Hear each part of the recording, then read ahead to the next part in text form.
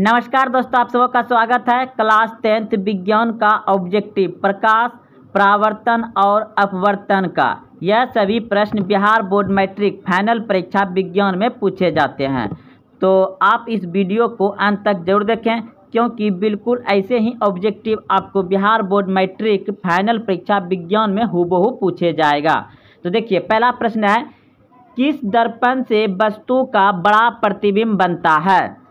किस दर्पण से वस्तु का बड़ा प्रतिबिंब बनता है?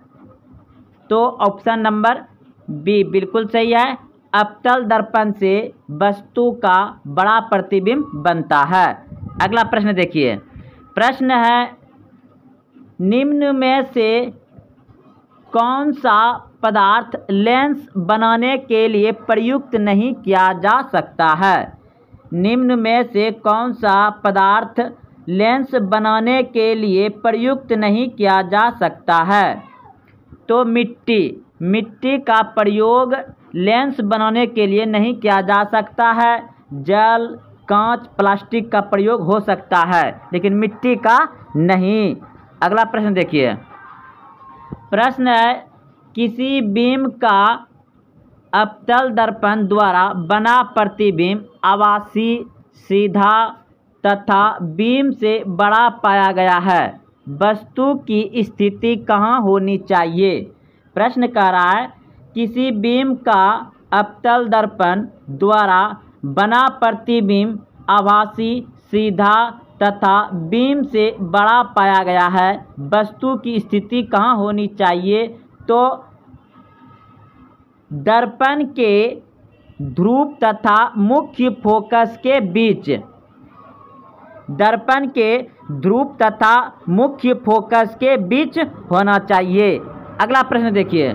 प्रश्न है, किसी बीम का वास्तविक तथा समान साइज़ का प्रतिबिंब प्राप्त करने के लिए बीम को उत्तल लेंस के सामने कहाँ रखेंगे?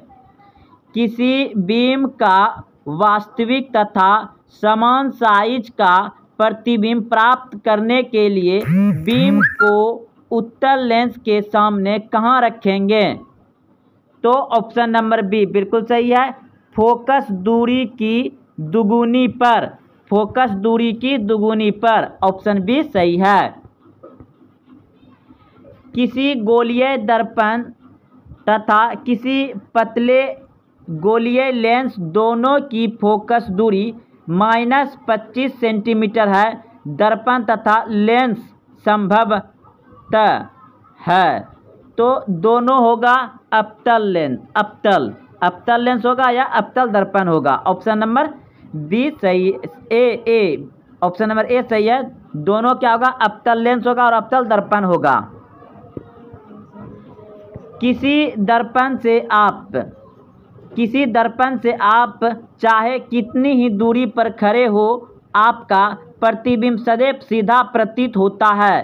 संभवतः दर्पण है। यानी प्रश्न कह रहा है कि आप कितने भी दूरी पर रहेंगे तो आपका प्रतिबिंब जो बनेगा सदैव सीधा प्रतीत होता है।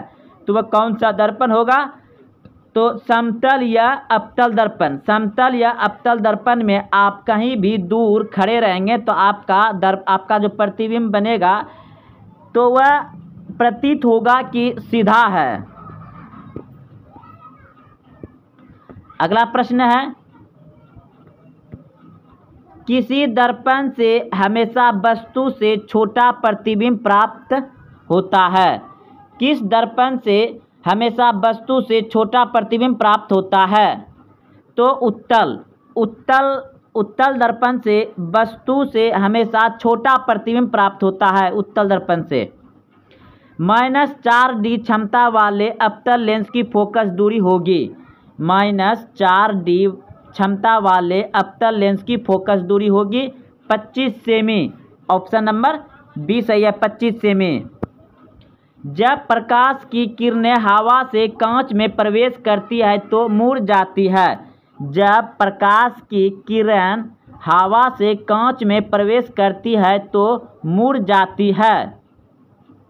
अभिलंब के निकट अभिलंब के निकट, ऑप्शन नंबर बी सही है। जब प्रकाश की किरण हवा से कांच में प्रवेश करती है तो मुड़ जाती है अभिलंब के निकट।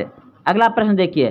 प्रकाश का वर्ण विक्षेपण प्रकाश का वर्ण विक्षेपण किस उपकरण से संभव होता है? प्रकाश का वर्ण विक्षेपण किस उपकरण से संभव होता है? तो फ्रिज्म ऑप्शन नंबर सी सही है फ्रिज्म से होता है। साइड मिरर के रूप में प्रयुक्त होता है। साइड मिरर के रूप में प्रयुक्त होता है उत्तल दर्पण, ऑप्शन नंबर बी सही है, उत्तल दर्पण। इंद्रधनुष का बनना किस परिघटना पर आधारित है? इंद्रधनुष का बनना किस परिघटना पर आधारित है?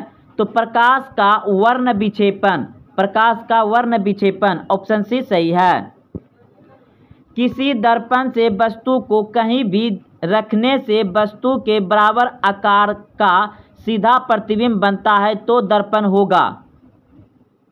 किसी दर्पण से वस्तु को कहीं भी रखने से वस्तु के बराबर आकार का सीधा प्रतिबिंब बनता है तो दर्पण होगा समतल दर्पण। समतल दर्पण जो हम लोग घर में यूज़ करते हैं, आईना। किसी उत्तल लेंस का फोकस दूरी 50 सेमी है तो उसकी क्षमता होगी। तो प्लस टू डी होगा, उसका प्लस टू डी क्षमता होगा। अगर किसी अवतल दर्पण की फोकस दूरी एफ़ तथा वक्रता त्रिज्या आर हो तो अगर किसी अवतल दर्पण की फोकस दूरी एफ़ तथा वक्रता त्रिज्या आर हो तो एफ़ बराबर होगा आर वाई टू। एफ़ बराबर होगा R Y two. Option A सही है।